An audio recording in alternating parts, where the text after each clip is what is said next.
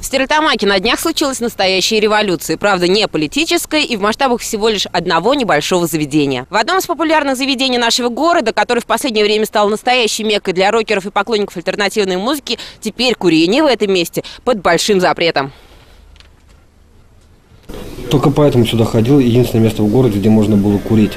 Последний раз здесь пиво пил, честно говоря. Больше не буду сюда приходить. Небольшое нововведение вызвало бурные дебаты. В самом баре даже установили такие вот урны для того, чтобы любой посетитель мог проголосовать за или против курения табака в данном месте.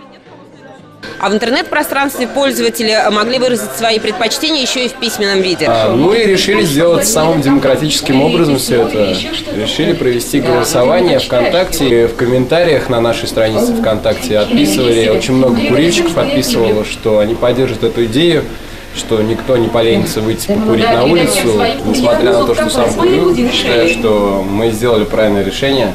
Люди устали просто сидеть в табачном дыму, устали от запаха сигарет. Но самое удивительное, что молодые поклонники альтернативной музыки Стерлислабая, это сокращенное название трех наших городов, Стерлитамак, Славата и Шимбая, а, проголосовали против самих же себя, то есть против курильщиков.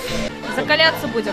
Да, будем закаляться тоже, да. Плюс, кстати, вышел такой, оп, футболочки покурил, закалился, отравился забежал обратно. На самом деле, ну ладно, что, жизнь меняется, как всякое бывает. Ну, стало возможно дышать теперь здесь.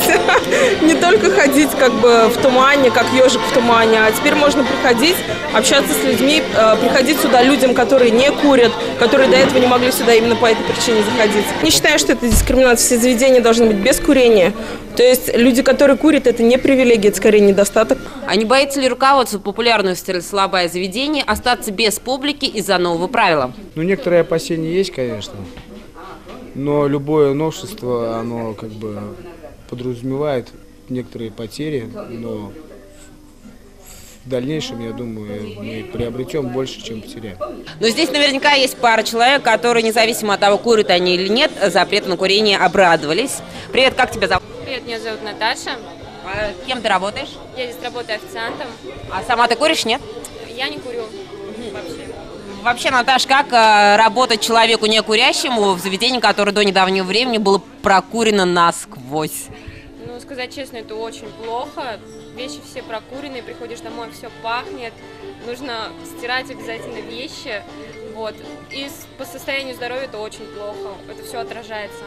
Запрет на курение в барах и кафе, которые за рубежом ввели уже несколько лет назад, до сих пор вызывает бурную негативную реакцию. Может быть, зарубежным курильщикам стоит приехать в нашу российскую глубинку и посмотреть, как рокеры могут отказаться от сигареты, не отказываясь от хорошей музыки.